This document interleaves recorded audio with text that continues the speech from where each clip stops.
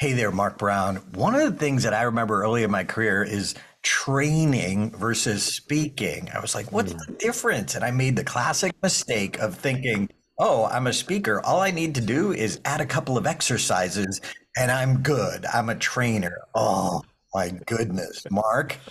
Oh, man, that was a big mistake. And that's why I'm really happy we got some company today. One of our brothers here to join us to kind of explain the mm-hmm. difference. And you might be surprised at what you find out. Let's do this, Darren. Yeah, we're going to sit down in a sec with Ed Tate, the guy who taught Mark and me how to be world class trainers. Anyone can give a presentation. Few deliver unforgettable presentations. What's the difference? You're about to find out. Welcome to the Unforgettable Presentations Podcasts with your hosts, world champion speakers and coaches Mark Brown. Mark Brown. Your life tells a story, and there's someone out there who needs to hear it. And Darren LaCroix. And Darren LaCroix. Stage time, stage time, stage time. Ready for some powerful presentation ahas? Let's dive right in. Oh, let's dive right in. Ed Tate, welcome. Thank you. Uh, I'm back at the show. I, you know, I, could you punch my frequent flyer podcast card? I think I get a Starbucks. Yeah, yes, I, I, think you get two. I think you get two in a pop cup. Uh, Ed, love you. You have taught Mark and me how to do it right. And I think one of the big mistakes out there, which I made myself, was thinking that it's easy. If you're a great speaker, you can be a great trainer. And if you're a great trainer, you can be a great speaker. And you can, but you've got to understand the difference. And I love mm-hmm. what you taught us, Ed. What what would you say the difference in the outcome is? You know, the the goal, what we're trying to achieve between speaking and training. Patricia Fripp, of which we all have followed and she's coached us, etc. And she says a keynote is what they call a higher level of abstraction. That mm-hmm. is, it's a big idea, if you will. Whereas training, in my opinion, is about the execution of the idea. It's mm-hmm. all about behavior change. And these are two completely different skills. I have seen Hall of Fame speakers who are extremely talented on stage. I mean, they're world class, they're global class, they're universal class in terms of their keynote presentations. And I've seen them do less than stellar with regard to their presentations because they did just what you said. You know, they just, uh, the first thing they did, here's a big mistake, is the first thing they did is they ran to their computer and they made a bunch of slides. Well, that's mistake. That's mistake number one. You, you don't go to your computer when you're designing a training program Mm. What you do is you, you do something. Uh, it's it's old school. Uh, it's called pencil and paper. What? Okay. Now, now, now, for the younger people, you might have to chat GPT what this is. Okay. okay. But that's where you start. Came right you, you start, and you and, and you start designing your program, and and you you focus on your objectives and what's the behavior change. I call it the KFD. What do you want people to know, feel, or do? once you're done. So that's you know that's one of the things that I, I want to focus on. But you know, in preparation for today's call, Darren, I did some additional research. Did you know? And I, I want to share with you some additional research. And uh, this research comes from the book um, "Oh Crap Potty Training." Okay. it's by Jamie uh, Glowacki. Glowacki. The pot. Yeah, the the Pied Piper of poop. All right. Okay. And there and there are five things as a trainer that are applicable from this book that I've learned about potty training. My my four year old daughter uh, Toriel that are applicable in training. Uh, number one, uh, don't be attached to the outcome. Uh, n- I don't number, want to be attached to that outcome. number two, you're looking for progress, not perfection. Okay, get it done. uh, uh, number three, stay off your phone. Good idea. Number four, uh, lead with confidence, silliness, and creativity. Mm. And finally, bring a spare change of clothes. Well, maybe that last one is not as applicable um, in training, but anyway, you never so know. and and it's ironic there was a number two. Ah, boom, boom, now, now, and, and real quick, you used Yes. the word just now that I don't want our listeners to miss. You said training is about the execution of the big idea to change behavior. Mhm. So, in terms of our keynote versus training, training, you say, is to change the behavior. But many keynote speakers focus on a different idea or a different goal. What would that goal be, would you say, Ed? So the goal for a speaker is uh, obviously to inform, but there's you know it, there's an entertainment aspect to it, etc. It is to there's a wow factor, uh, Inspire, if you will. right. Yeah, Yeah. it's you know it, it's it's feeling good, but training is about the execution of that idea, and and typically speaking, it's a one way communication. Occasionally, you'll find an engaging keynote speaker, like we all use some form of engagement in our keynotes, and but it's limited if you will whereas training you know we know how to train we need to we know how to keep people's attention for a half a day a full day a week several weeks and several months and that's how long it'll take you know to actually change behavior and that's what training's about training is not just a one time thing training is ongoing it's continuous it's checking in with people and making sure that they their behavior changes here's the other thing the difference between speaking and keynoting. With a speaker, we're typically impressed with the speaker. We're, we're typically impressed with him or her. Hmm. But with training, our goal is to make sure that the participants are impressed with themselves. And if they walk away impressed with us, frankly, we haven't done our job. Mm. Nice. Well said. And Mark, go ahead. real quickly, I, you, you kept saying training. And it's funny. I grew up in Jamaica. I played football slash soccer in high school, and we never ever talked about going to practice. We always talked about going to training sessions. Hmm. We- yeah, Interesting. We, we, no, we didn't. We didn't call it practice. Well, that's the 1970s. I'm older, okay. But we Mhm. never said we never used that word. We said we're going to go to training. And the thing is, the routines we learned habitually did did better over and over again. The different uh, exercises were to train our physical bodies, but also to train us to understand the game and to execute on the playing pitch when it was game time. And in all my years, I never made that connection until just now when you said change the behavior. And I Mhm. love the point about we're impressed with the speaker, their charisma, their energy, their wow factor.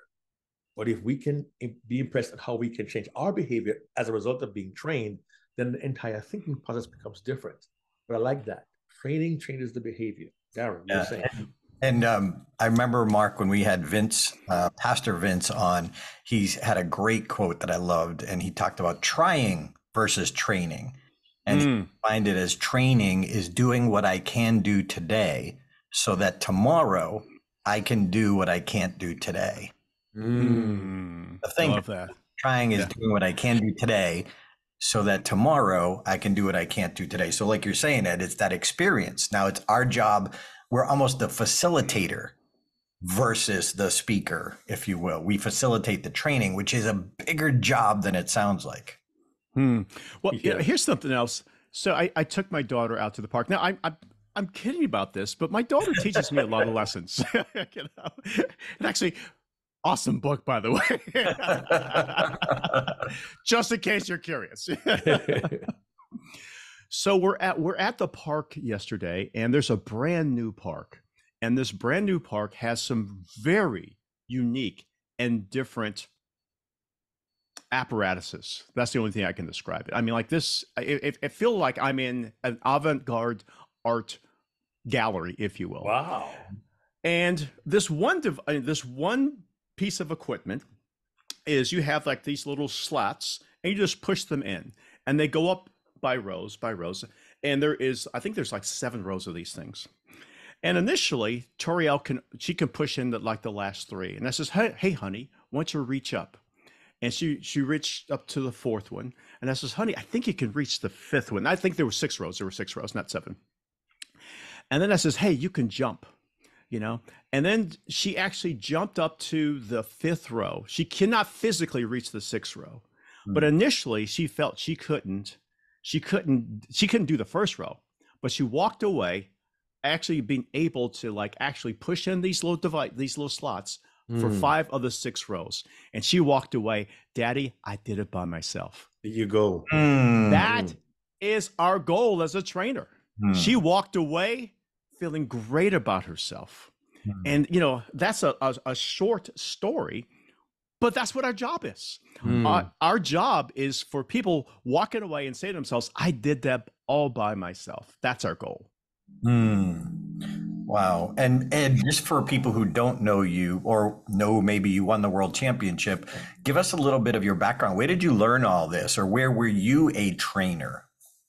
So I, I have multiple, uh, you know, degrees, or if you will, um, let's see. I am I'm a former training director for the Denver Rocky Mountain News, and again for the for the younger people, uh, um, uh, that's a newspaper, and you might have to again chat GPT what that was. That's that's how we used to get information before there was chat GPT. And um, anyway, so I was a training director for the Denver Rocky Mountain News, trained over 1,500 people uh, per year. I'm also a former trainer for a company called Career Track. At the time, Career Track was the largest training company on planet Earth, and I was among their top trainers, if if you will. I've also uh, I'm a certified trainer in something called Miller Heiman Strategic Selling. And what that means is I teach uh, my coaching clients how to work with, how to sell to large corporations. So I have multiple training backgrounds. I'm also a, uh, a graduate of Bob Pike. Bob Pike is in not only the Speaking Hall of Fame, but also the Training Hall of Fame. And I've gone through his train to trainer uh, programs and courses. Uh, T. Harv Eker, uh, he has a program called Train the Trainer. So I've gone through multiple, and I've spent tens of thousands of dollars of my own money to uh, get good at this skill. And this is something I love to do. This is something, it's a great deal of fun. As you guys know, I'm always testing and experimenting with, with new ideas. So, for example, at Game Changers, Yep. what did we did for the first time? We, we launched a world premiere uh, of doing a an escape room. Virtual And, uh, hybrid.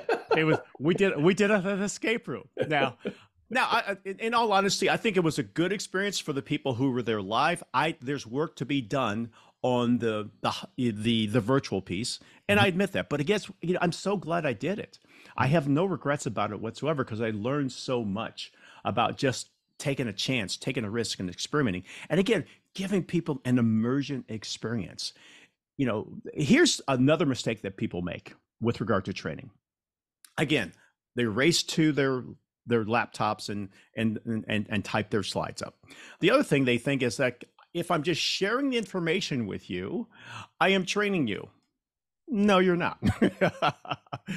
What you you're just you know you're just just talking you know you're just lecturing. And lecturing is not necessarily the most effective method of training. It is one method of training it is one method in which people receive information but the thing you need to understand is people process information differently.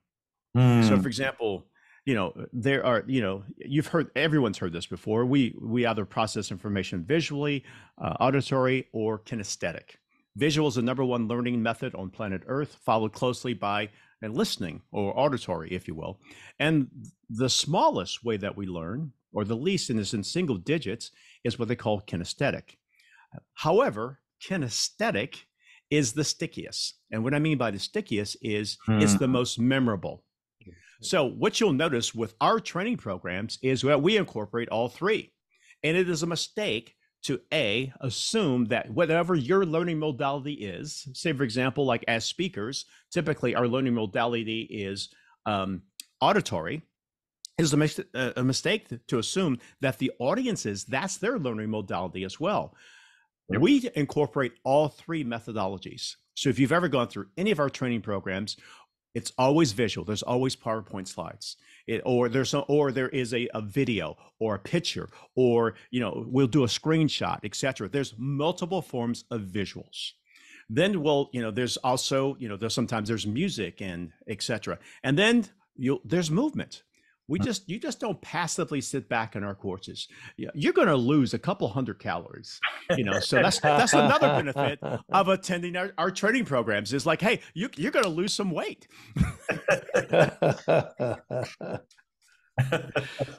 Um, Welcome to the Train the Trainer Fitness Program led by Ed Tate. There you go. Exactly. you know, It's just, it's just a bonus. It's just a bonus. You know. one of the things that I learned from you that I think is critical, and and again, if you're listening to this, we're, we're trying to help encourage you that if you want to be a trained in-demand world-class trainer you got to shoot for that. You've got to get the instructions. Nobody accidentally becomes an amazing trainer.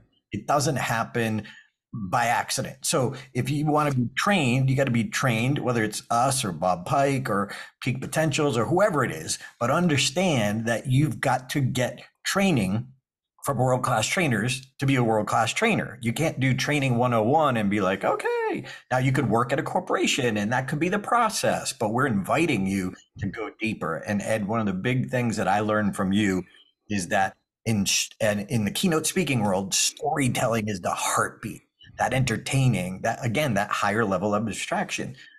But in training, it's instructions and we often, and guilty myself, the instructions are not clear.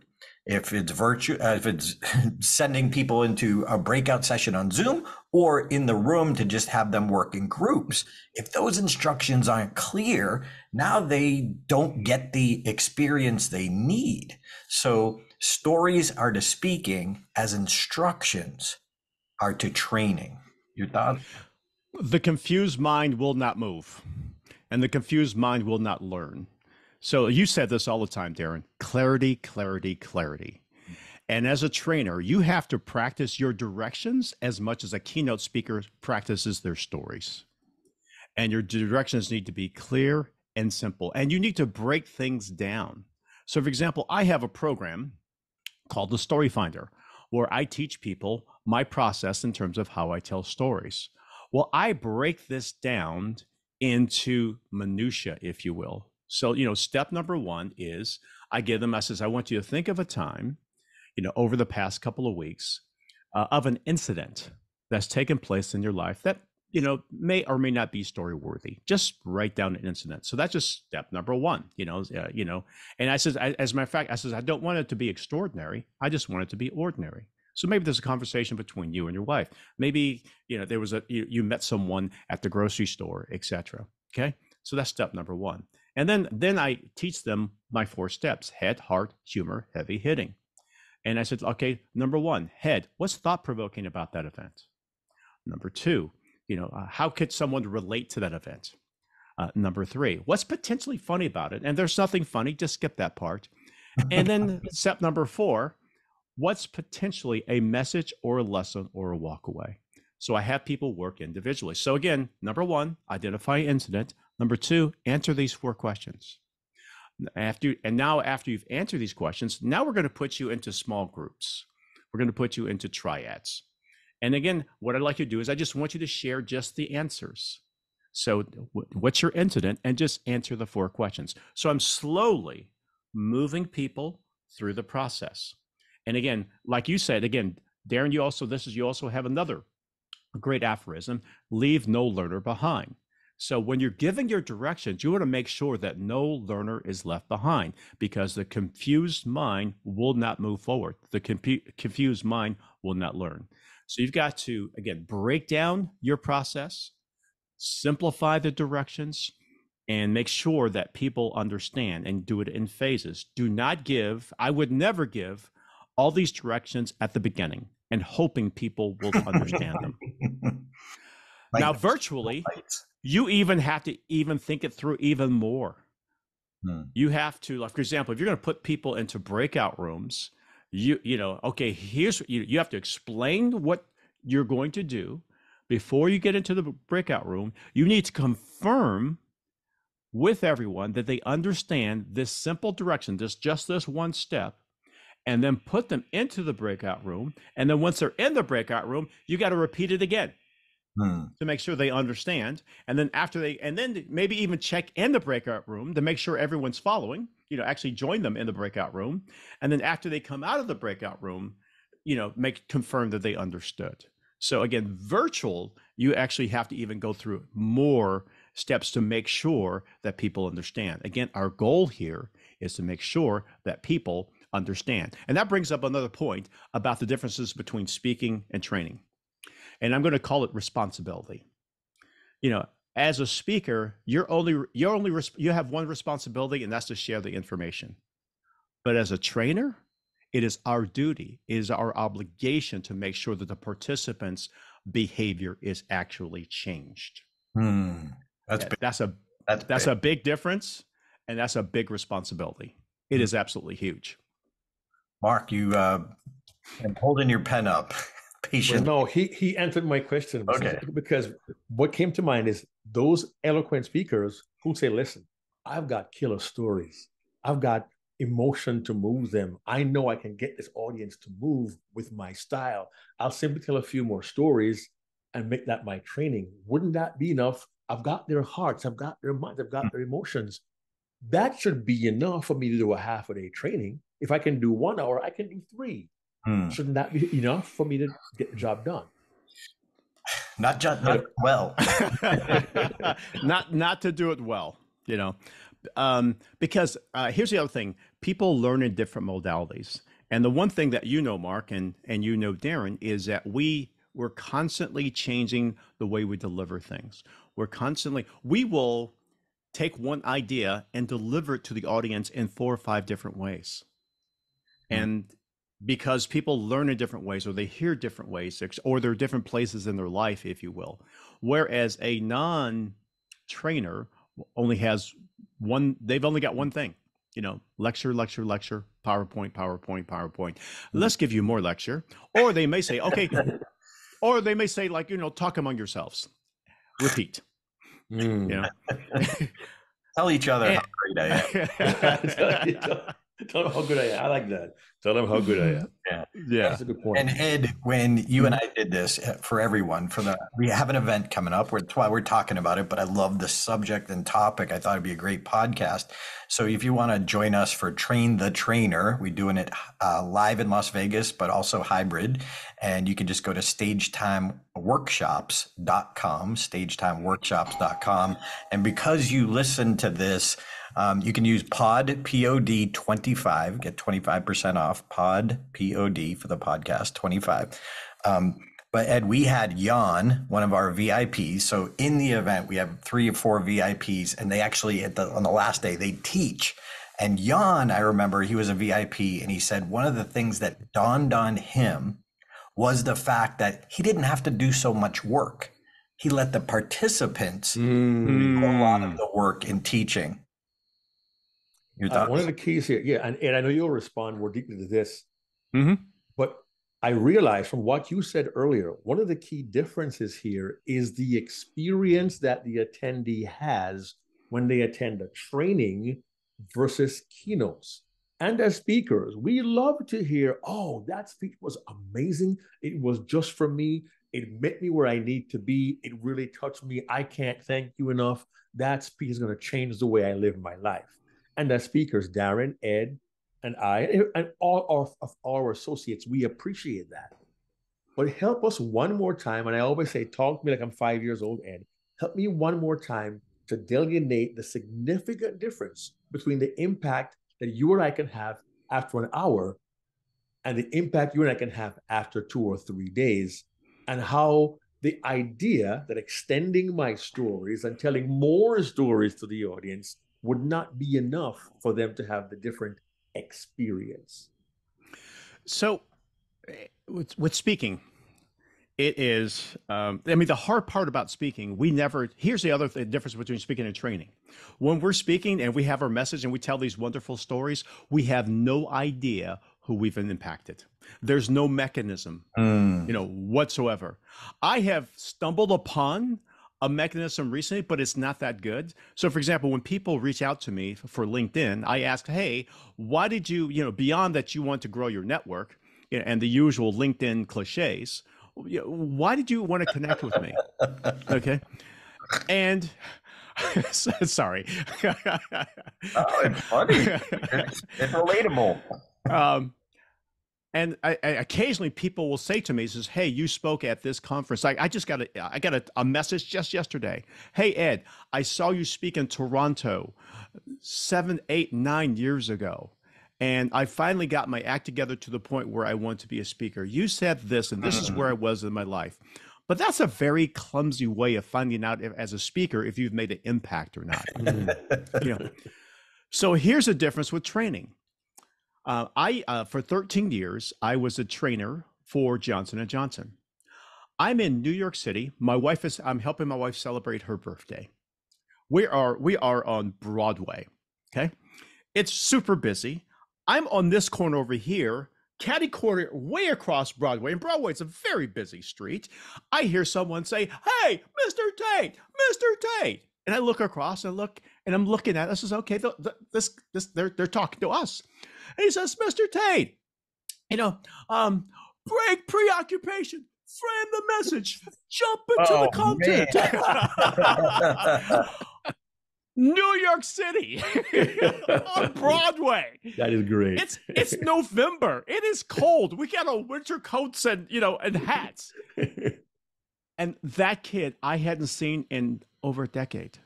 I should I shouldn't call him. an- Mhm. you know he was a, he was a grown man, but he had just graduated from college. I was I trained him.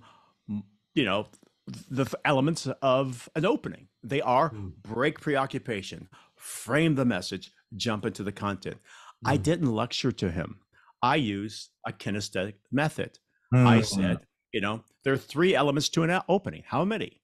Three. The first is called break preoccupation. The second is called frame the message. For those of you listening, I'm pretending I'm breaking something or breaking a, a, piece of wood over my knee. Okay, frame the message. I'm literally taking my hands and uh, outlining a, a imaginary frame, and then jumping to the content. And I'm actually having my hands actually jump, uh, pretending like they're jumping onto something. So that's what we taught him, and that made it memorable. That te- told me that he got it, and not that he Mm. only did he get it, but he got it at a deep and permanent level. Hmm. all the way across Broadway. You know, uh, just Damn. real quickly, Darren. Just last week, I found a photograph on my Google uh, Drive from several years ago, where Ed is physically doing the motion to break preoccupation. I'm behind him to his left, and I realize we're both on the same stage in South Africa, which, by the way, is where he met his then his future wife, Sarika, in Africa together several years ago. And I have a picture of that Edo, I'll send it to you. That that that one that one action, that one methodology, that one process that you teach kinesthetically, physically, he remembered that from so many years ago. We don't do that that well in a keynote speech, and there's so much more power to what you can do in a training, as Darren says, when you do it right. Darren. Mm-hmm. Yeah, I get excited when I do a speech. It's fun, it's exciting. Uh, but when I do a training, I realize the impact I can have is light years away from speaking. So it's like give them to me for two or three days, and and they will never be the same again, whatever subject it is, guaranteed. Uh, now, super quick, there's a lot of people who listen to this who maybe dream of being a high level, high paid keynote speaker in demand. What you might not know is there are a lot more training opportunities than there are speaking opportunities at the highest level. There's th- tens of thousands of more trainers than there are speakers because there's tens of thousands of more opportunities. And Ed Tate, uh, one thing in common, Ed Tate, uh, Ford Saeks, David Brooks, Craig Valentine, all started training as a stepping stone to speaking. So they are now high level speakers. You see them, they rock the house, but they started by quote unquote getting their sea legs in training. So, uh, and then I know that there's, there, I won't name names, but there's some great keynote speakers that they do high level, high paid speaking, and then training is the back end that they get a huge contract. So they get paid to get that opportunity to sell their training. So please don't underestimate the fact that if you dream of being a keynote speaker, maybe training is also a great stepping stone. And if you're a great speaker, look into becoming a great trainer and what could you use as a follow-up? I always say what's your next step? After they hear your keynote speak what's your training? It's mm-hmm. natural especially if they love you and hear from you. Ed your thoughts So, you know, some of the great uh, keynotes, like you just said, some of the great keynote speakers. Mark Sanborn used to be a trainer, um, uh, past president of the, of the National Speakers Association, Hall of Fame speaker. Uh, Laura Stack, past president of the National Speakers Association, Hall of Fame speaker, used to be a trainer uh, with Career Track. Um, Marilyn Sherman, you know, our friend Craig Valentine, etc. So, you know, they started off as trainers, but they became these keynote speakers and vice versa. So they, they have both of these these particular skills. Uh, yeah. another thing I just want to point out what tr- there's a, a, another thing that trainers have in their toolbox that speakers don't, and that is as trainers we have uh, we have a toolkits called drills, and there's also what we call practice games uh, if you will. Okay. So, for example, one of the things, things that we do in our trainer trainer program is, you know, we, we can drill. So, for example, a drill in basketball is you're going to practice your free throws. You know, Mark, you, uh, you played. Uh, we call it soccer. You yes. call it football. Okay. Yes, sir. So, what would be a drill in in in in soccer football? we had one called. We used to hate this one called. It's called three guys with one ball. So you had two okay. guys in one. It passed the ball, one touch, and run back and forth, pass the ball across areas to, for accuracy, for control, and for speed. We would do that every single day for passing accuracy. It was a drill. You would do it every single day to perfect a technique. So that's a drill, and then you have the practice game mm. actually you know and a practice game is you know you're you're actually it's live you know you're yeah. you're you're doing what you've been drilling for etc so in our train to trainer program guess what we have what we call a practice we have a practice game and this te- this technique is called the teach back so mm. for our vip members our vip members guess what you get to teach some of your content with some of the tools and tips and strategies that we have shared with you and incorporate that into some existing content. Or if you have a new program you want to design and develop, we'll help you do that as well. But you'll get a chance to actually have a practice game, a practice delivery of your content in front of and get feedback and what I what we call deep dive feedback. Not just your run of the mill surface feedback. We're we will we will take 30 to 40 minutes to give you some deep dive feedback you know and we'll we'll take your training we'll we'll take it apart and and again we'll it's the purpose here is not to make you feel bad but it's to identify what you have done well and that's how we always start what you've done well and some other areas for you to consider to make it uh, to improve it.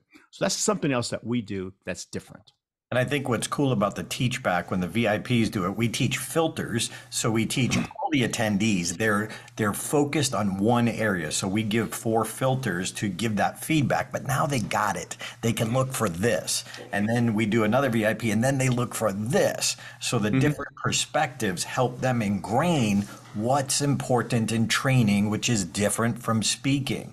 And mm-hmm. VIPs get is they realize the impact of the exercise and the breakthroughs people get who are doing the exercise or the Ed Tate stand up move uh, kinesthetic uh, thing that they lead. So, uh, Ed Tate, uh, and we got to honor your time here. We got this event coming up. Check out stagetimeworkshops.com. Look for the drop down of train the trainer. It's coming up uh, June 14th, 15th, 16th, or if it, you're listening to this after that, just check out the schedule. We'll put another one in the calendar after that. So, love to have you join us live in Las Vegas or virtual. Use the discount code POD, P O D 25, and we promise that we will rock your training world. You will not look at training the same way again.